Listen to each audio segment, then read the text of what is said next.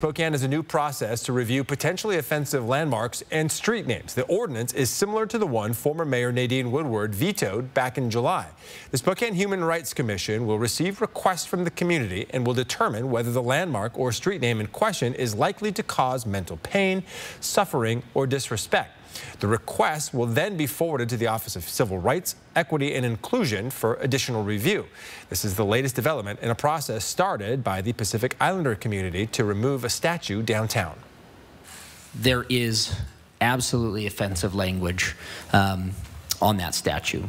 Um, those were things that 100 years ago were things that were um, um, were acceptable in that time to say that we obviously know now um, and should have known then that those were things that, that we cannot say about entire groups of people.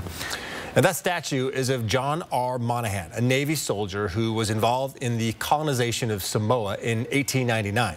It includes a plaque that describes Samoans as savage foes and depicts them wielding primitive weapons.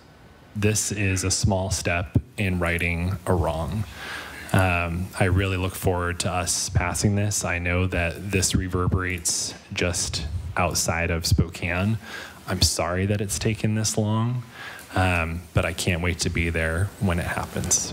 New Councilwoman Lili Navarrete, who is a Mexican immigrant, described her experience growing up in a colonized country with monuments that honored colonizers.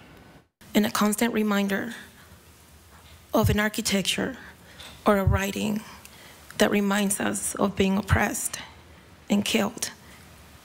It's not what I want for my constituents. So I will be supporting the removal and hopefully the proper process will be passed. Uh, tonight